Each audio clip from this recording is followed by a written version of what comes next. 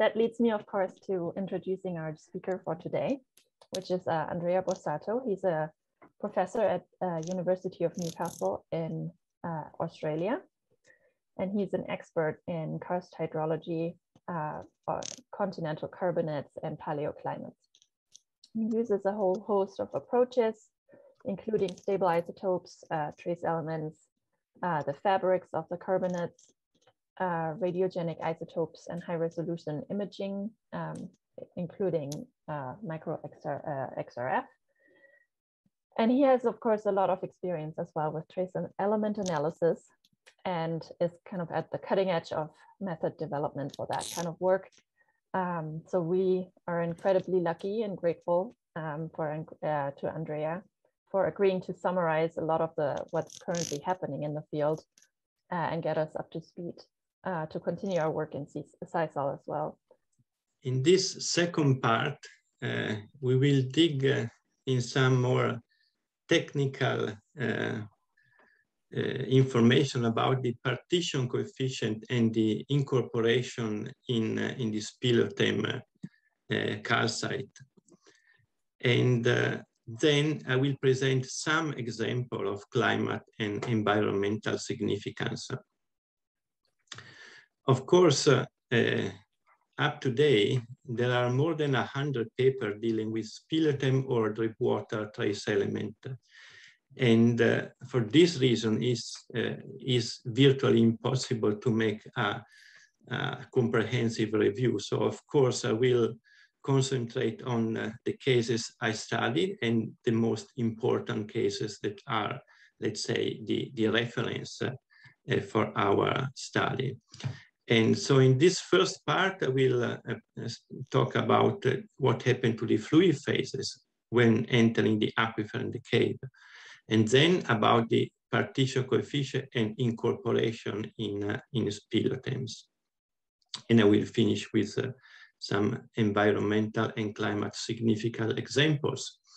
So we all know what happened in the, uh, in the aquifer, but it's just important to summarize what happened to the saturation state as the, the water uh, undersaturated in the epikarst, where most of the carbonate dissolution takes place, finally enter in the bedrock in our aquifer when, where at some stage it reaches the, uh, the calcite saturation. And from this moment on, we can have uh, uh, precipitation of carbonate, usually um, calcite, but also aragonite sometimes. But most of the precipitation uh, occurs in the cave as the water reaches the atmosphere of the cave and where most of the degassing uh, takes place. So prior calcite precipitation can occur also in the soil in very dry climate environment, in the aquifer but as I said, mostly on the cave roof before hitting our stalagmite. On the other hand, the dissolution is a more complex uh, process because we can have uh, both congruent dissolution or incongruent carbonate dissolution.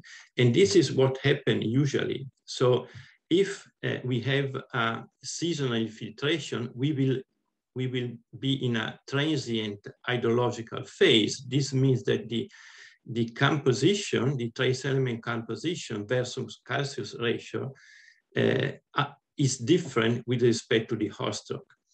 Only when we are in a steady state, so a continuous flux through the aquifer, we can reach uh, the uh, the uh, this, the composition of the of the host rock, and also the kinetic of the solution depends by the mineral present in the reaction. So aragonite is typically more soluble and it dissolves quickly with respect to calcite.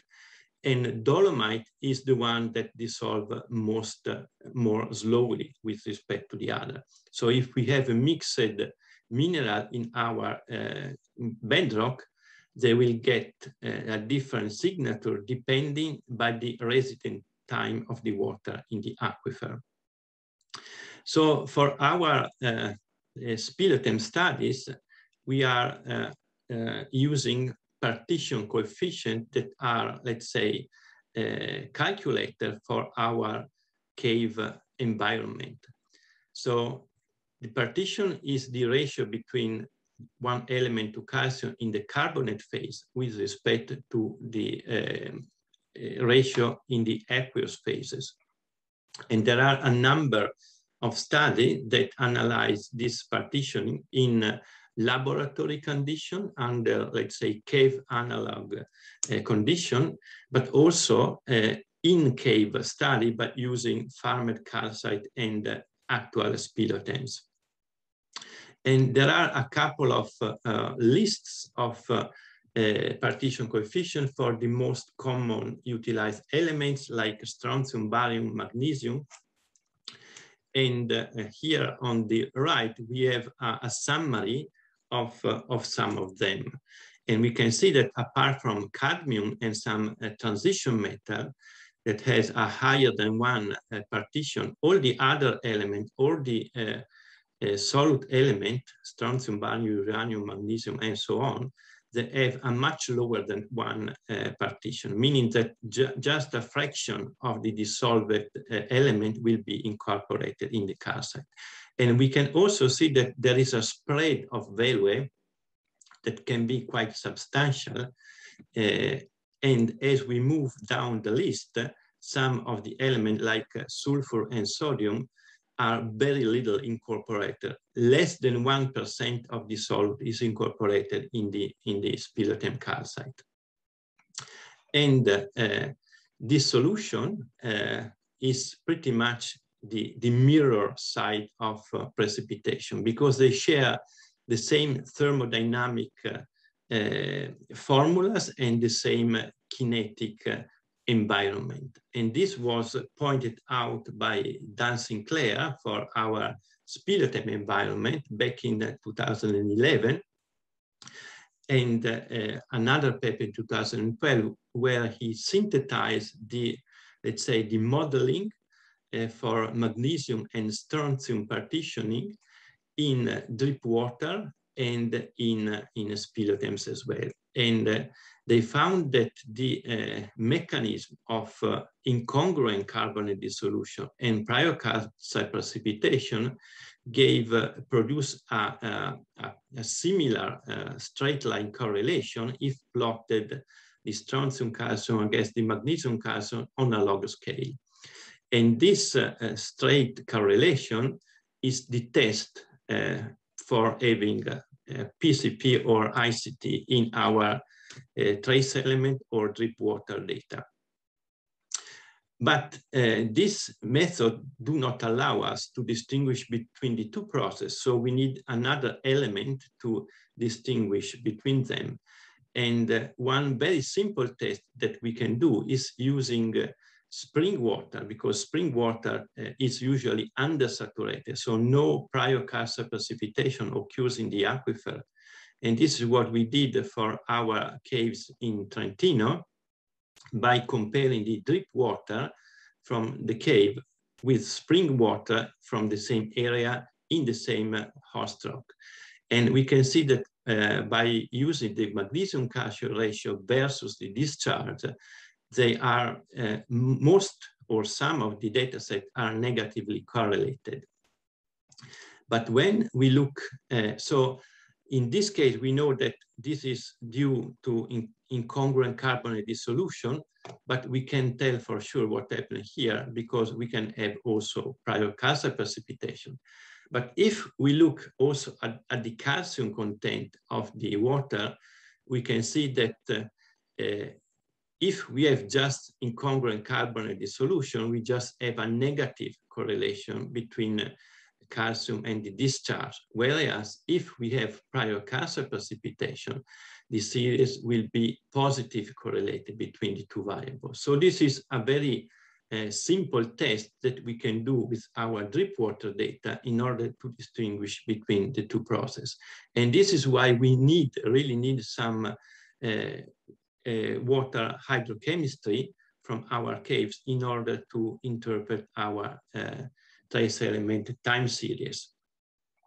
And we can see here how this concept uh, were applied uh, from these two studies, one in Hollow Ridge Cave in Florida and the other in our uh, cave in Trentino. So we can see that depending by the composition of the host rock from almost pure limestone to uh, dolomite, we can have a different starting point in the uh, drip water composition. And then if we have prior pliokarst precipitation, the drip water will be aligned along a straight line, which is the prior pliokarst precipitation vector. And this is uh, applied not just for strontium and magnesium, but for most of the element uh, which has a which have a lower than one partition coefficient, like for example, silica and sulfur as we uh, did here. And by knowing the point, the starting point of the uh, pliokarst precipitation, we can calculate exactly the amount of PCP occurred in, in our aquifer. And uh, by using different elements, we can double check and cross check the number we, we will get. So this is a very useful tool to apply. On the other end, we can see that some uh, drip water data are not aligned along this line. So this is a test that no or not significant amount of pliokarst precipitation is taking place. So uh, partitioning uh, is, is uh, I would say, extremely important for magnesium and strontium, which are the two elements which are mostly utilized in our uh, trace element reconstruction. And uh, from, from the beginning, uh, back in, in 2000, it was, uh, uh, let's say, demonstrated that also in, in our cave settings, magnesium is depend uh, by the temperature. So the partitioning of magnesium increases as the temperature increases. And this was confirmed also by laboratory study that Day and Henderson, but also by a more extensive data set. Although, as you can see here, there's quite a, a, a spread of data, especially at higher temperature. And this is not uh, still uh, completely understood. So it's not just temperature, there are other processes involved in the partitioning of magnesium. And this is something that we will have to investigate in the next few years.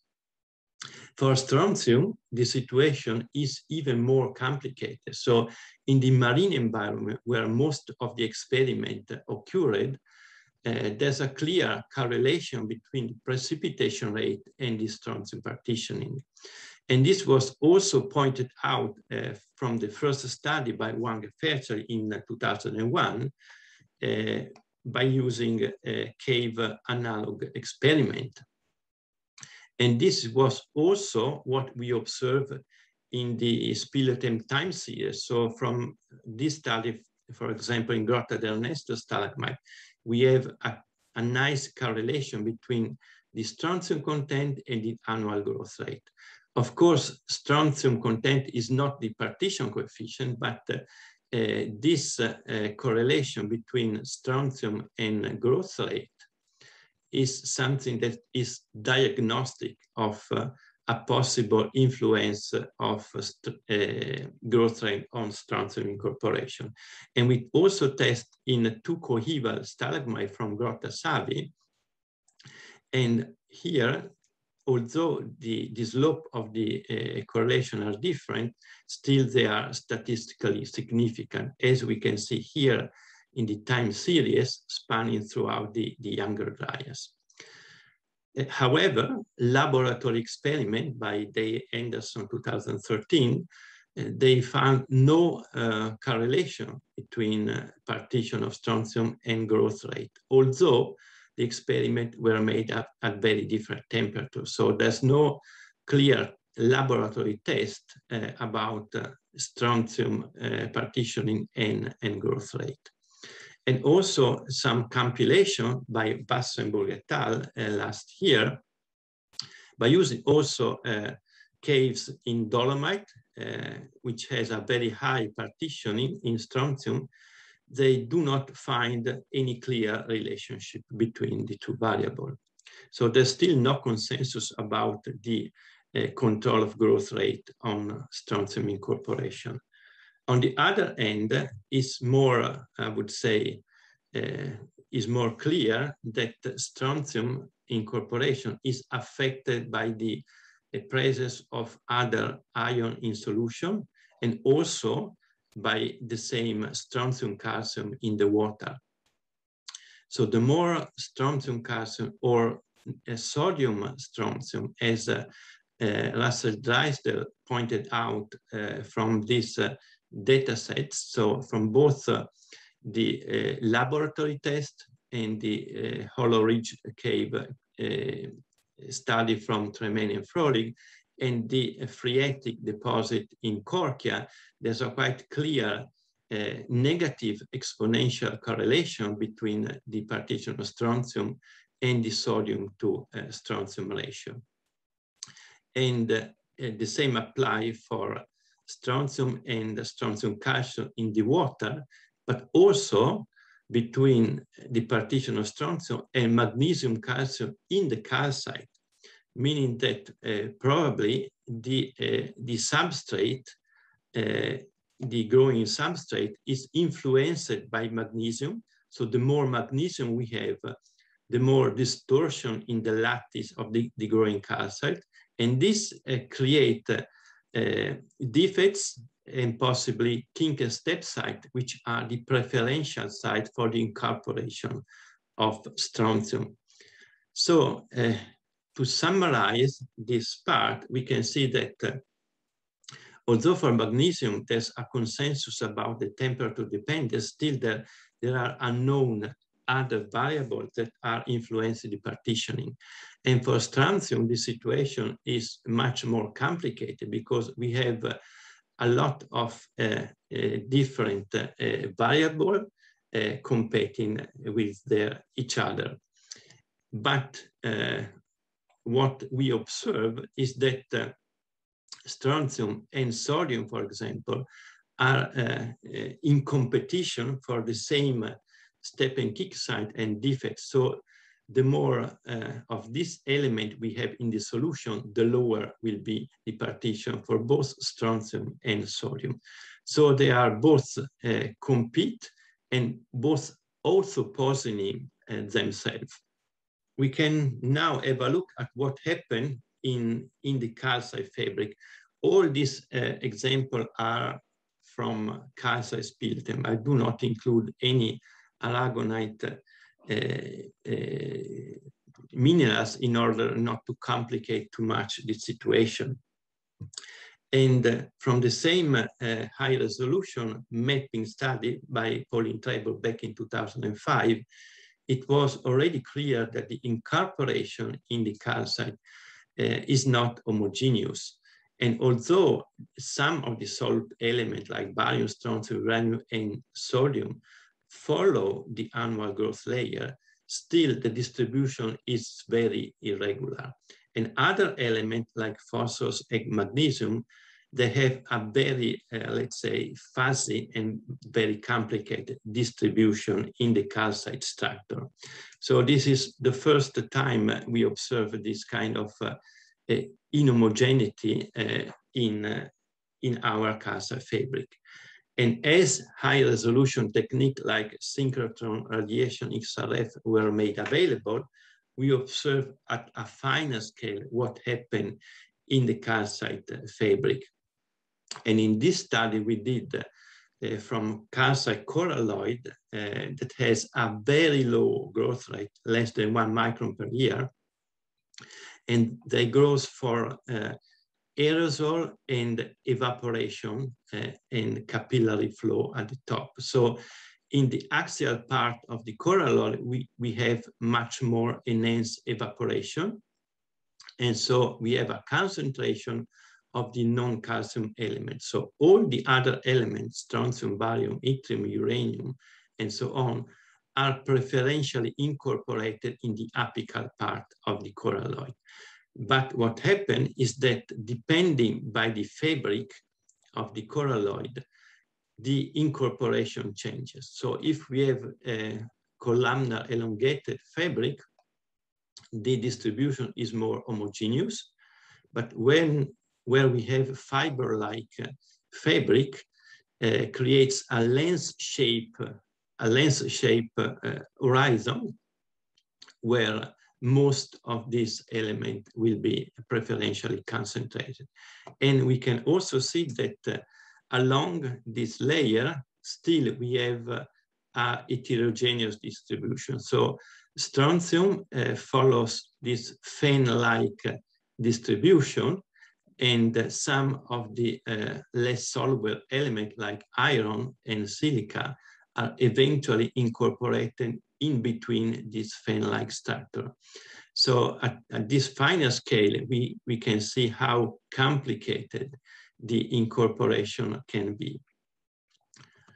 And of course, in, in porous uh, we can have, as we have already seen, the porosity, but also uh, grain inclusion. And somehow grain and impurity are the reason of the porous fabric and not vice versa. And so in porous band, we have, uh, uh, let's say, a concentration of grain inclusion that can be few micron or few tens of micron in diameter. So we really need this high resolution mapping technique. But also there can be a very fine particle, so around a couple of micron in almost continuous layers, uh, like we have here for iron. But this is a kind of, of I would say, of unique situation the most common situation is like here for strontium, this uh, more coarse, uh, let's say, coarse inclusion in correspondence to the, the, the high uh, porosity layer. And this can uh, explain, I would say somehow, uh, the scattering of the data in the trace element partitioning. So we can uh, we can say that if we analyze our uh, calcite from a different part of the speleothem, we will have a very different concentration that we will end up with a very different partition coefficient. So this is something that we will have to investigate in the future to couple the, uh, let's say, the partition experiment with a proper uh, fabric uh, cross-check. And this happens not just for porous uh, stalagmite, which is kind of a, very common situation, but also for columnar uh, calcite stalagmite, although this is not always the case. So in several stalagmites we analyze, we do not observe this uh, kind of heterogeneity. But this study with uh, laser ablation raster scanning made by Sliwinski installed this year on Asturias stalagmite in Spain, they documented a kind of heterogeneous distribution similar to what we already uh, seen in our calcite coralloid. So in the apical part, in the spire part, as they called, of the uh, calcite crystal, we have a higher concentration in strontium, magnesium, and sodium, and so on. Whereas in the depressed, in the intracrystalline part of the, of, the, of the fabric, we have a lower concentration. And so we have this uh, uh, sectoral zoning that can be quite severe, especially for magnesium and, and sodium, and nickel as well. On the other end, uh, strontium and, uh, and zinc and copper are less affected. So they listed here the best seasonal signal coming from strontium, zinc, copper, aluminum, and yttrium, whereas magnesium, nickel, and sodium are strongly affected by this sectoral zoning. And again, this can be, as I said before, one of the reasons of this, this scattering of the data in our uh, partition coefficient. So it's something that we have to be aware of when calculating this uh, partitioning. And uh, I would say the worst case scenario are uh, micritic band and stromatolite like layer within the stalagmite, which are not very common, but uh, they are documented in several stalagmites, especially when we have condenser growth and hiatuses. And in this uh, uh XRF uh, synchrotron mapping from uh, 4 million year stalagmite in, in the Nullarbor, Australia, uh, we saw how uh, the uh, detrital element and the colloidal attached particle are much more concentrated in this band. So for silica, for example, we have a, a quite large grain inclusion, but also a much more fine uh, inclusion in this uh, in this uh, stromatolite-like layer and are trapped by the organic matter that just uh, keep them uh, in, uh, in, the, in the calcite structure. And the same apply for phosphorus, but also from, for manganese, iron, aluminum, and so on. On the other end, the solute element, like barium, strontium, magnesium, are not affected. So although, uh, the, of course, the distribution is, is not homogeneous, but there's no enrichment or not much change in the uh, partitioning for magnesium and the other solute element. And uh, also strontium is less concentrated in this stromatolite-like layer. And this suggests that strontium has, a, let's say, really hates organic matter. So whenever we have high organic matter content, we have a lower strontium incorporation. And sulfur, like magnesium, has this zonal uh, distribution, pretty much as we have seen in, uh, in the Asturias uh, uh, stalagmite and uh, in our calcite coralloid. So now I will introduce the, the more, let's say, interesting thing for our purposes, some example of climate and environment are significant starting with the, uh, the prior-calcite precipitation paradigm, which was uh, until a few years ago, I would say, the most uh, common uh, mechanism that was, uh, let's say, uh, was used in order to explain the the correlation uh, between magnesium and strontium in speleothem time series. And these two seminal studies from uh, uh, southern Brazil by Cruz et al. and Flores, Indonesia by Griffiths et al. are pretty much uh, uh, demonstrated the same, the same thing. So we have cycles in, sorry, cycles in the oxygen isotopes, which are nicely correlated with the uh, uh, summer insolation in the southern hemisphere, and so they tell us that uh, higher insolation is related to higher precipitation in the area and vice versa. So the same uh, cycles are replicated in the trace element. Both strontium and magnesium has a similar behavior. And so we can see that the higher uh, during the dry episodes, we have higher magnesium and higher strontium content and vice versa. And the same was documented in, in Flores, Indonesia, where pretty much the same situation. So the, let's say, the, uh, the precipitation is controlled by the Australian Indonesian summer monsoon, which is uh, in turn controlled by the summer insolation and the magnesium calcium and strontium calcium ratio, they do follow this, uh, this pattern, this trend. Although in some places, they split apart. And this is something that uh, uh, can give us uh, another layer of uh, interpretation if we want to dig deeper in this, uh, in this data.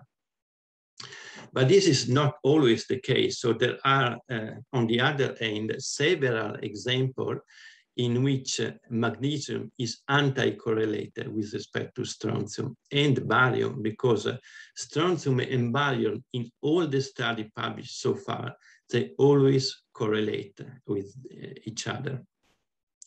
On the other hand, magnesium can be correlated or anti-correlated, as in this study from Nettlebed in, in New Zealand, uh, where when we pass from the last glacial maximum through the Holocene, we have uh, an increase of the, the precipitation temperature and forex extent as determined by the carbon isotope, a negative shift and uh, increase in the luminescence.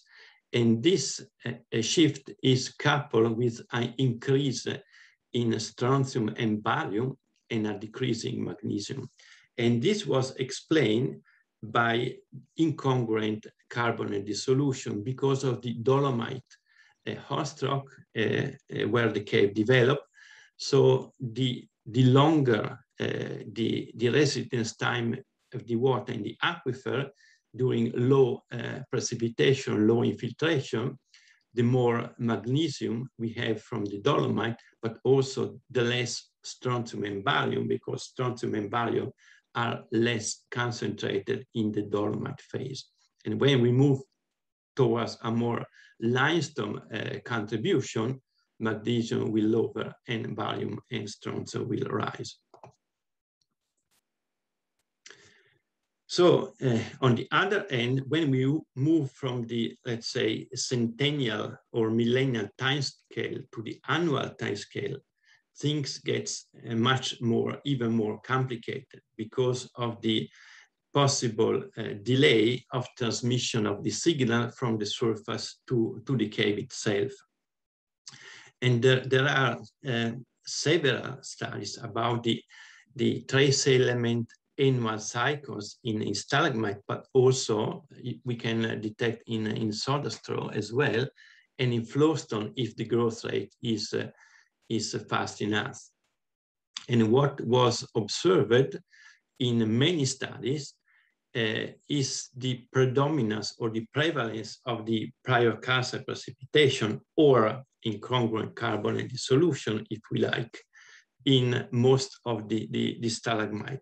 So from China, Johnston et al., from uh, Gibraltar, Dave Mattey et al., and our study in the Cook Island, we have magnesium, strontium, barium, and sodium, which are correlated and the cycle are more enriched during the dry season when we have enhanced prior calcite precipitation. On the other end, we have uranium, yttrium, but also phosphorus and uh, all the uh, transition metal which are more concentrated during the uh, fast infiltration event. So they are, uh, let's say, suggesting the, the wet season. So this is one of the, the common situation, especially when we are in a, let's say, in a, uh, in a continental setting, so away from the sea. And we can see that also, uh, depending by the climate setting, the cycle can be uh, very clear. For example, if we are in a monsoon setting or in a Mediterranean setting, like uh, also in Southwest Australia, whereas in tropical settings, like here in the South Pacific, the cycles are present but are not so clear. So this is the reason why for this uh, stalagmite in the tropic, we need a much more sophisticated data treatment in order to detect the, the annual cycles in stalagmite. However, as I said, this is not always the case, this uh, trace element distribution, because uh, depending by the distance from the sea, so from for the sourcing of the element and the rock composition, we can have a much more complicated situation. As a, a Pauline Treble detected in Southwest Australia, but also here in, in China, we have uh, magnesium, which is anti-correlated with respect to strontium and barium, because uh, most of the magnesium is not coming from the host rock, but from the uh, dissolution in the soil of a non-carbonate component. And this is possibly also what happened in, uh, in Southwest Australia, where part of magnesium is sourced from, from sea spray, but also we have a contribution from non-carbonate particle in the host rock as well for the other element. So we really need to know our bedrock composition and diagenesis in order to have a clear, let's say, background of what is going on in our speleothem. And finally, uh, there were lately some attempt to pass from the, let's say, qualitative or uh, reconstruction of the hydrology by using this uh, PCP or incongruent dissolution concept to a quantitative uh, reconstruction. And there is this very nice attempt by Sophie Warken in 2018 from Closani Cave in Romania, uh, where they utilized magnesium calcium to uh, reconstruct the, the, the, the, precipitation, especially the autumn-winter precipitation in a Holocene stalagmite. Here, interesting, they use the, the strontium and barium calcium, which again are very nicely correlated, and they have a very nice annual cycles to establish the lamina counting and to establish the precise calendar age model.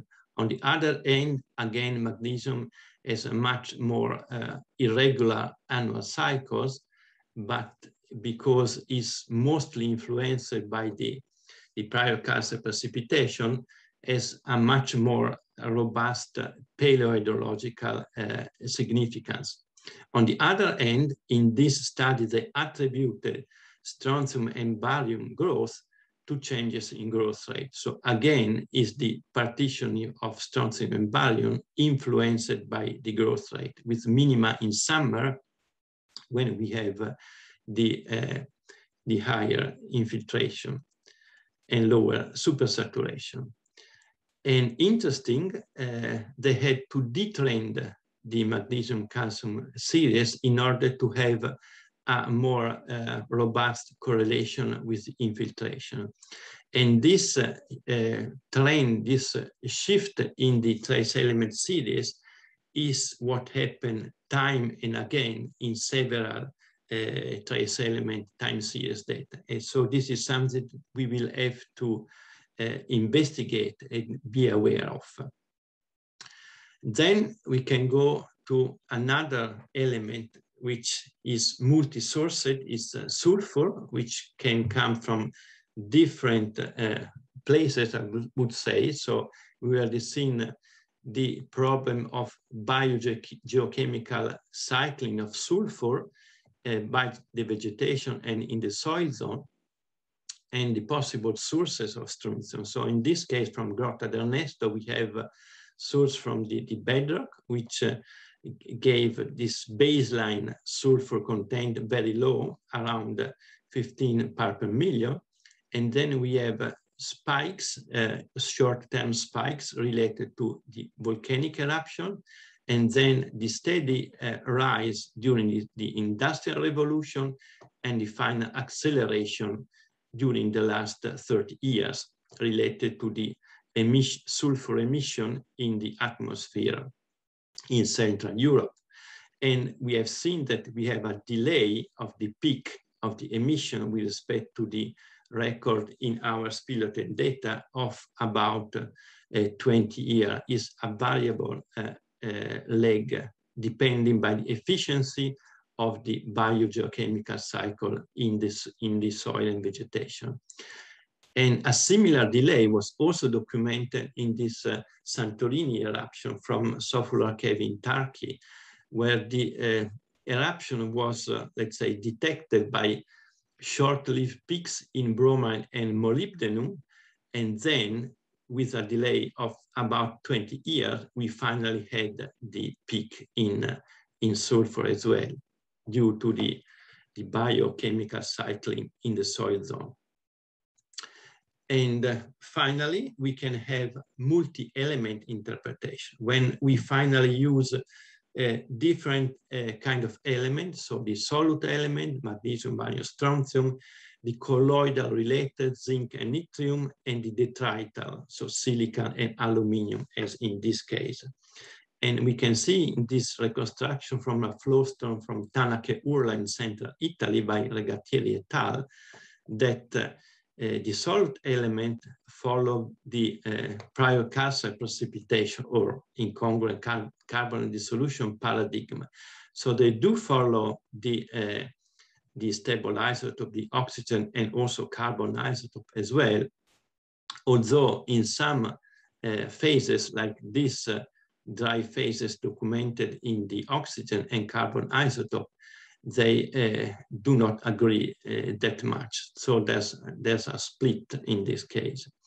Whereas the uh, detrital element, they uh, just follows this climatic deterioration, so a soil deterioration with the input of this detrital stuff. So we can combine our trace element data in order to have a more comprehensive uh, understand and uh, interpretation of the uh, trace element data. And this is what we did. this recent paper from Bigonda cave in Italian Prealps by Johnston and, and, and, and us in uh, a very deep cave, more than a thousand uh, meter deep aquifer. And we are still in the last interglacial. And uh, in here, we have a very complex situation because we have the infiltration from the, the high plateau up there, but also from the valley flank. So at the start of the deglaciation, we, we had still the glacier at the top of the plateau and the meltwater from the glacier just gave a very negative oxygen isotope composition to the drip water. And also the presence of uh, uh, Aeolian uh, dust uh, on the plateau, very rich in strontium, gave a very uh, rich strontium content to the flowstone. And it was uh, pretty much five times higher than the baseline level that was reached finally after a few thousand years, during which most of the loess on the plateau was completely weathered. At the same time, the uh, reforestation of the area because during there was no no vegetation at all during the last during the, the glacial period took several times to be established like we, we can see in the carbon isotope and interesting in the first reforestation phase we we had a negative shift in phosphorus because all the phosphorus was sequestered by the growing vegetation. Only when the, the forest was established, we had a rise in the phosphorus content in the flowstone as well. So again, this uh, multi-element interpretation also coupled with the, the petrography, so we can see that the detrital element here uh, that testify this uh, uh, very fast infiltration and disequilibrium phase is also recorded in the disequilibrium fabric in the flowstone. So in order to conclude, we have seen that we have complex uh, dissolution kinetic as a function of the bedrock composition and the rock-water interaction. So we really need to know our bedrock and possibly involve a geologist where things are complicated. And also the complex partitioning that we have that can be unraveled by studying the drip water uh, composition. So the cave monitoring or at least some basic cave monitoring is needed. And then we have seen the, the sectoral zoning and the fabric that can influence the trace element incorporation. So again, petrography and possibly high resolution mapping is required when we would like to have uh, accurate calibration of our trace element data and a proper interpretation of long time series. And I think that we already uh, discuss this point. So I will stop here and uh, I'm just uh, open to possible questions. Um, thanks, Andrea. That's, that's a lovely talk. Um, yeah, so just these little strontium, little metal-rich particles, I, for strontium, it puzzles me where they're coming from because you normally see them with the elements that are coming from the soil and it makes sense because they're you know transported as colloids or or something similar. So but the strontium is usually coming from bedrock. Is that a is that a puzzle to you or what's what's your explanation for that? You mean the, the grain inclusion of strontium? Yeah yeah.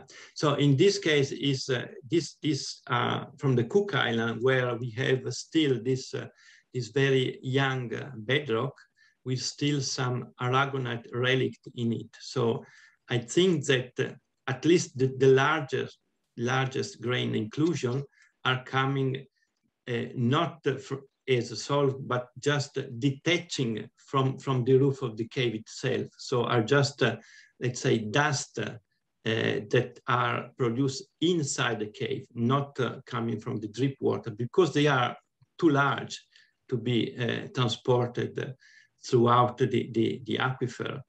Whereas on the other end, the smaller size particle, uh, they can come uh, from the, the, the, the fluid. So but still I think they are detached, uh, let's say, in, in the last in the last section of uh, of the aquifer in order to be not in solution, but still as a small grain. And the last possibility is uh, a strong evaporation uh, along the, the, the, lamina, but this, this was not the case for, for this, uh, this uh, stalagmite. But in other cases, we can have, uh, if we have uh, a, a, a, stop growing of the stalagmite, we can have enhanced evaporation. So for the coralloid, for example, this can be the case, but still in the coralloid, we did not uh, map any uh, grain inclusion, just this very fine, uh, fine fan-like structure. So all the stuff was in solution and was incorporated uh, in, in the fabric as uh, ion, not, uh, not particles. All right, thanks. Yeah, so most likely literally little pieces of bedrock. Yes, yes. But, and I, I would say you wouldn't normally, it's not that common in the strontium maps, is it? It's not that common, you're right. So usually strontium, barium is, is most, uh, I, I see from, let's say, from also laser ablation data, you have much more peaks in, in uh, grain in barium than in strontium. Strontium is, is very unlikely. Uh, like magnesium, are not very common, this, this grain inclusion. But uh, in some uh, cer certain circumstances, you can have. So this is the reason why, uh, as I said, the, the study of the bedrock is uh, extremely important, especially when we are dealing with young bedrock. So like uh, your Eolianite or our uh, Makatea of Pleistocene in, in the South Pacific is, uh, is very complex and complicated. And what we observe, if you move from one drip to the other, the drip water composition and the stalagmite trace element CS can change quite, quite dramatically.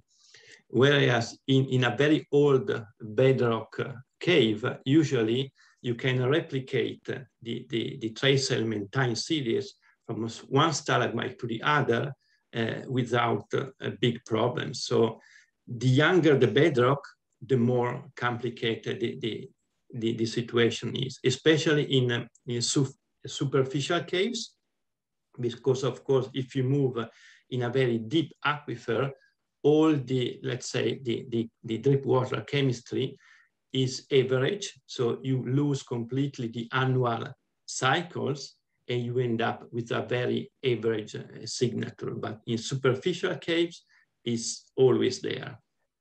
Okay, thanks, Andrea. Hi, Andrea. Thanks for the Hi. talk. Um, I was just wondering if there's other ways to distinguish between PCP and um, incongruent dis dissolution aside from the spring water tests? And how important is that for long, interpreting long time series over like glacial, interglacial periods?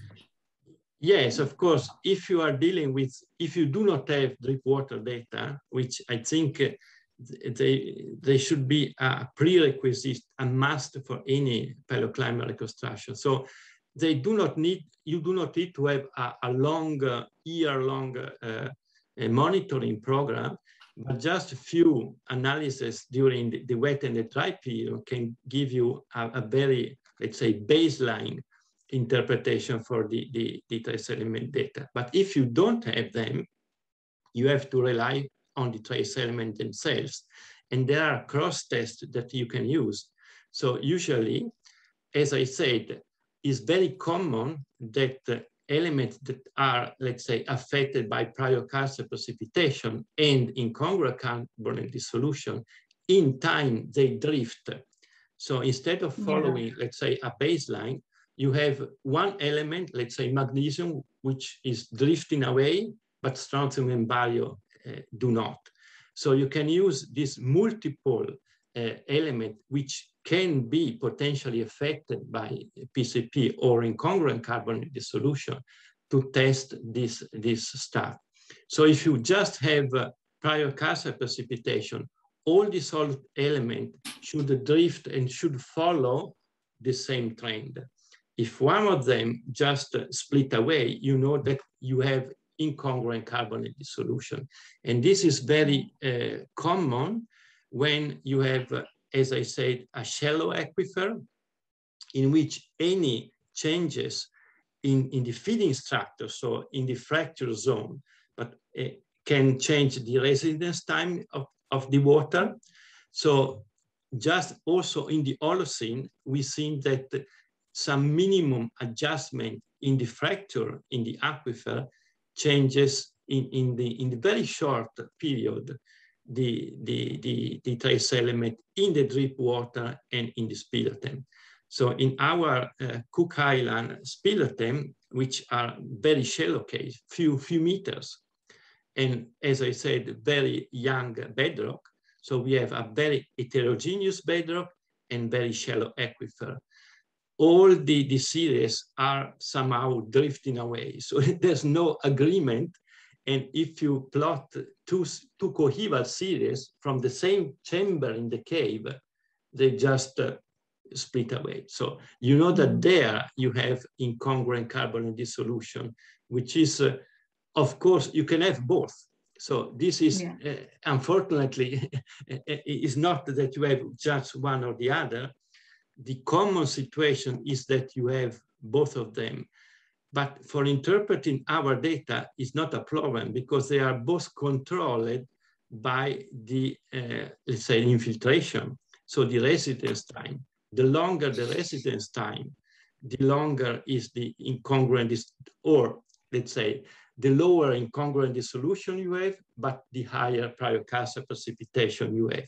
And they both move along the same line. So they are yeah. both concentrated by uh, dry periods.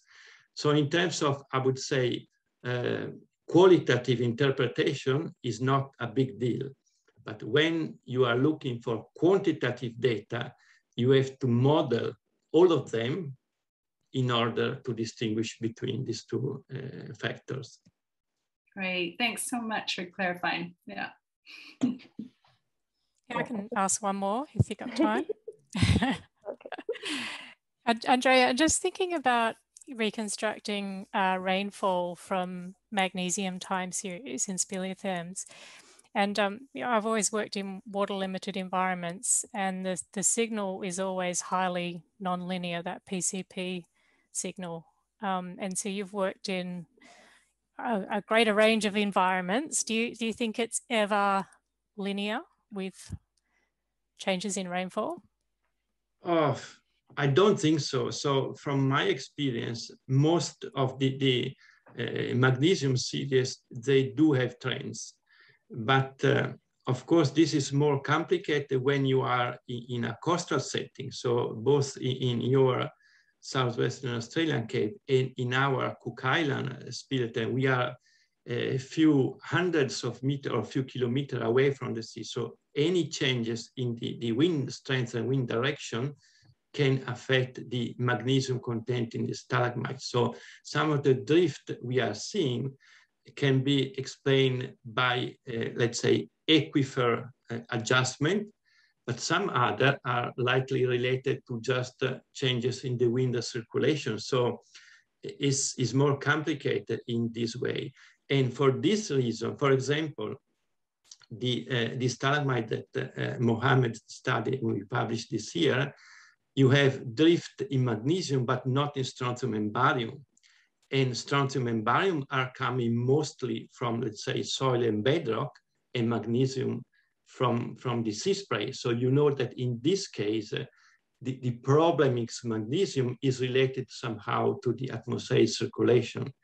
And so as I said, although strontium and barium are more complicated in both the, the sourcing and, uh, and the partitioning, they give, a, let's say, a baseline uh, confidence level, which is more reliable, I would say, with respect to magnesium. So magnesium is more sensitive to dry period, but still is more complicated by both the sourcing and possible this uh, adjustment in the in the in the aquifer that can change both the the let's say the, the provenance of magnesium but also the incongruent dissolution so strontium and barium are not as much as affected by incongruent carbonate dissolution as it is magnesium because uh, magnesium if we have a high magnesium calcite around or dolomite is very, let's say, it, it, very hard to dissolve. So you need a much more longer time to dissolve it.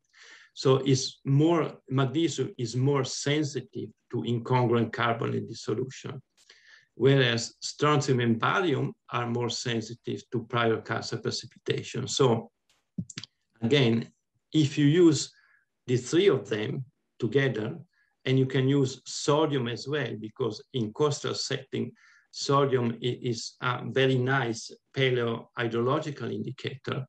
You can have a quite complete picture of, of what uh, is going on. But of course, you have to, to model all these trace elements because uh, they interact together. And as we have seen, they uh, just compete with, the, each other, especially strontium and sodium for the incorporation. So it is, is, is a very complex model and Heather Stoll did this uh, I-STAL uh, program, but uh, there are others that are working on, on the same approach. So by changing not just the, uh, the let's say, the, the amount of PCP, but also changing the same uh, partitioning by using different drip water chemistry. So it's a kind of more complex approach, but in coastal setting is what, what we need because uh,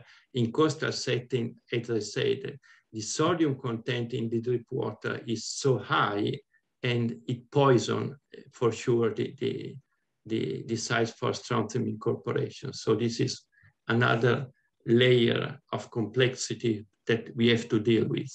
Yeah, so, yeah, so all of the complications of the other sources aside, like even if you know it's um, a PCP signal, I think you have to be able to model it to relate it back to rainfall because it's always so highly nonlinear. And I, I just suspect that's everywhere and not just in water limited environments. Yeah, yes, especially, I would say, especially in, in superficial caves, because uh, if you go uh, down a deep aquifer, as I said, you have an average of the signal. But what happens in superficial cave is that the, the, the precipitation is not occurring throughout the year or the, the growth of, of the speleothems is, is very heterogeneous and it changes uh, season by season. Whereas in deep cave is more easy. So you have maybe you have a, a more uh, fast growth, let's say, in winter because of the, higher the higher degassing, but it's not so complex and complicated as it is in superficial case, where the, the, the water residence time can change, uh, uh, let's say, year by year. Whereas in deep cave, maybe the residence time is, is let's say, uh, two or three year, and this average pretty much the, the, the signature of the drip water. But in superficial cave, as uh, in Grotta di Ernesto is another case in which we have year by year, the, the, the water residence time is changing seasonally. And so the growth of the calcite changes every month. And it is it's very difficult to, to, to measure and to model properly and so you have really to, to use all the possible uh, tips and tricks in order to, to, to unravel the situation. Yeah, okay, thanks. It, it's yeah, it's a good point about cave depth and too. Thanks, Andrea. I just wanted to um, um, tell something about uh, you showed you showed a plot of mine with yes. um, strontium distribution coefficient against strontium calcium ratio in the water. Sure. Um, I know that uh, there are there is this uh, study from Tesoriero uh, Pankow, I mm-hmm. think that's the one. They show they show a clear correspondence between um, distribution coefficient for strontium and strontium calcium ratios. Um, but in my in my paper, I actually think that it is uh, that this relation is related to the um, um, dolomite and limestone um, balance. Yes. So uh, what you also what you also see is that if you if I plotted that data, um, the water strontium calcium ratio against magnesium calcium, then you see exactly the same trend. But then, um, yeah, as you see in the strontium against strontium calcium of the water. So I think in, in that case, it is more related that dolomite has uh, tends to have a lower strontium calcium ratio. Sure. As compared to the magnesium calcium ratio, and I think that that uh, that explains this uh, relation between uh, that you showed in your presentation. But like I say, I mean, there is also evidence that strontium distribution coefficient and strontium calcium in the water are uh, related as well. But in my plot, I think it's um, more related to the dolomite and limestone. Yes, and this is the reason why I, I just put this who controls who, because uh, there are several, uh, let's say, inter, yeah. uh, interacting uh, agent and, and mechanism. So it's really difficult to disentangle. And on the top of this, we have the, the fabric uh, let's say, uh, incorporation and fractionation. So we really do not know if the fabric uh, incorporation is controlling the incorporation or vice versa, or if the, yeah. let's say, the partition coefficient yeah. that somehow force the, the, the fabric. But it is very difficult to test because we do not have, uh, or so far, the possibility of uh, making laboratory experiment in which we precipitate a calcite with different fabric, with different yep. Composition. So it's, it's really it's really difficult to test. But I think that this will be the next level, the next step in our, uh, let's say, uh, partition coefficient stories. yeah, exactly. Yeah. Now this is what is uh, because what I also uh, still miss in the literature is uh, like experiments, uh, lab controlled experiments with where they uh, where they were with uh, strontium calcium ratios, magnesium calcium ratios uh, that are like uh, uh, known for levels for, known for speleothems, and then just start with keep strontium calcium constant. Yeah. yeah. And then like so slowly reduce the magnesium calcium ratio yeah. and see what happens with partitioning yeah. coefficient. Yeah, yeah. You know that is that is stuff that I'm that's still missing, and that yeah, that should be done. Yeah. But as I say, strontium has so many different ingredients uh, acting yeah. at the same time that is, is quite difficult to disentangle them all.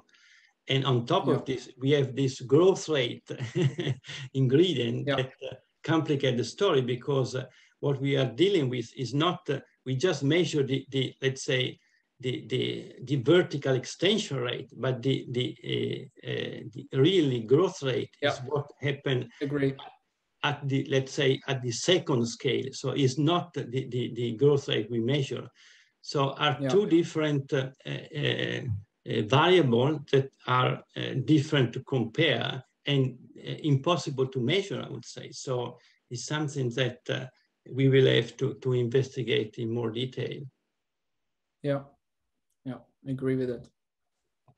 You showed a plot with uh, uh, from uh, Seraina Badertscher, yeah, uh, with uh, with the bromine, yeah, uh, showing volcanic signal. Yes. Um, do you, would you expect that? Um, because this, I think, from from my uh, from my head, I think I only know one paper that's using the bromine um, in the in the speleothems, and I think that's that's the Badertscher paper, right? Yes. yes. Or are there more, or or are there other ones as well? Because I, I think it would be really good to test it on uh, yes, different yes, uh, volcanic eruptions. Sure. Sure, this this volcanic eruption story is still uh, uh, un, under development, I would say, because uh, yeah. we have now some fine examples that are, let's say, in which we have also, let's say, volcanic ash uh, within the speleothems in, in, New Zealand, for example, is quite common. Oh, cool. But this is, is a very peculiar situation in which you are very near the volcanic eruption source. Uh, when you have a soil in a thick aquifer, we just see a, a, very muted signal or, or flattened signal or no signal at all. And yeah this is the reason why uh, is is not uh, still is not used as a routine analysis. So we are not able to detect like in ice cores uh, every each uh, volcanic eruption taking place uh, throughout the globe. So we are able to see if we are near the volcanic eruption, downstream downwind of the, the volcanic plume, mm -hmm and uh, with a thin soil, uh, let's say, filtering action that allow to the, the element to be transmitted. And what we have seen, we are seeing now is that you have, uh, let's say, indirect evidence of the, the volcanic eruption in speleothems, like, uh, let's say, aquifer readjustment. So no, no, no any element related to the, the eruption, but something mm-hmm. that occur in the aquifer instead. But this is, is not easy to demonstrate because can can be anything no. else. So uh, it, I think this is the reason why it's not widely applied because it's so difficult to find a case that are sensitive. So ideally with no soil cover or with very thin soil cover and in sensitive area with respect to the, the main eruption we are working on this yeah so but but uh, do you think that bromine would have the highest potential for it ah but you have to, to have really uh, downwind of, of, the volcanic eruption in the plume right to be able to, yeah. to, to, detect it because bromine is very volatile and uh, is, is yeah. easily fastly transmitted but uh, is, is also filtered uh, by, by, by the soil somehow. So you have to have really a lot of bromine in the eruption and to be near the eruption center in order to, to... Right, yeah, true. Okay. Just a more general question maybe for closing the seminar series or this mini seminar series that you gave. Um, if you could wrap everything up, like you kind of touched on it in your conclusions already, but if you could give us maybe the best practices for um, speleothem trace element records, um, what would be like the the things that we really need to look out for since it's such a complex uh, topic and uh, it's yeah it seems like people have different opinions sometimes also. Sure sure. So i would say that uh, you cannot uh, uh, let's say tackle all the different aspects but uh, i think that a basic basic hydrochemistry study is is is uh, the basic requirement. So you cannot interpret spilett series also if they are fossil without having a knowledge of the aquifer itself. So it doesn't take much to have uh, let's say a few analyses you're going to need a, a years long monitoring study to to understand what happened in uh, in the aquifer in some cases you just need a few let's say, analysis in the wet and in the dry season to understand what, what's going on in the aquifer. The other thing is the bedrock. Uh, most of the studies do not take into account the bedrock at all, just say, well, it's a limestone with some dolomite content and that's it. But you have to measure, you have to, to look at the diagenesis and at the composition of your bedrock because this is where most of the solute elements uh, are sourced and come from. And finally, in the cave in, in, this, in our speleothems, you have to do a test of the, let's say, the quality of the reliability, re reproducibility of your data by using, if you use laser ablation, you have to use multiple parallel line scan to test the presence of peak, but also some drift and trend that you can have. And uh, let's say ideally uh, do some small map test in key area to investigate the possible sectoral zoning or the influence of different fabric in, uh, in, in the speleothem and the distribution of trace element. In some cases, uh, we know that if you, you want to do a proper uh, petrographic log, you need a continuous thin section, so it's a very tedious uh, work, and you destroy a lot of stalagmite. But you can do test section in key areas. In when you have, uh, let's say, hiatuses or uh, changes in the the trace element composition. So also in this case, you do not have to make a, a let's say a continuous record, a continuous petrographic log, but still few thin section analysis can be diagnostic of what is, uh, is happening in your speleothem. And of course, if you are able to do high resolution mapping, this is really the, the best, uh, let's say, the best approach you can have.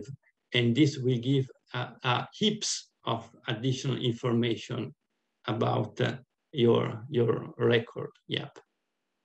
Great. Yeah, that's that's really good. Um, yeah, I think we have lots to think about. So thank you again very much, Andrea. Um, thank you all for coming, and I hope you have a nice day or evening or whatever it is where you are. bye bye.